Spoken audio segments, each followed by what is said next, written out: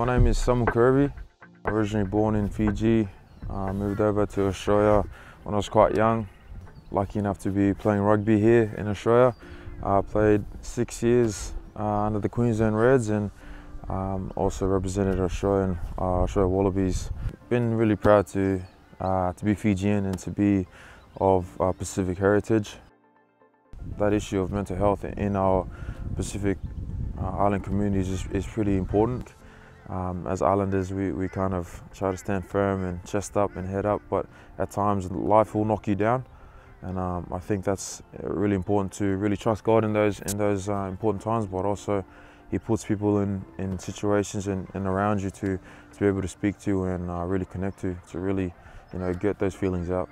With alcohol abuse, it it doesn't really help with what people are going through, especially Pacific Islanders. I think it suppresses everything and doesn't fill that void that they're that they're wanting.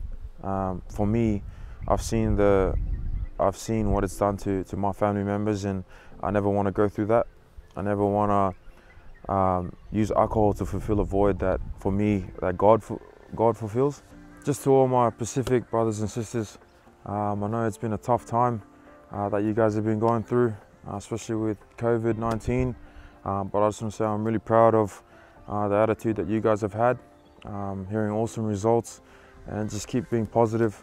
Um, understand that what you're doing for your family um, goes a long way to not just this generation, but the next. Be really proud of where we come from.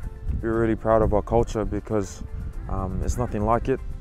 Um, we're a small, small little islands in the Pacific, but you see all of us everywhere around the world doing big things. If it's not in sport, it's in all aspects of life. So keep being positive, keep driving the positivity, and um, reach for the stars because um, no one else will if, if you're not doing it.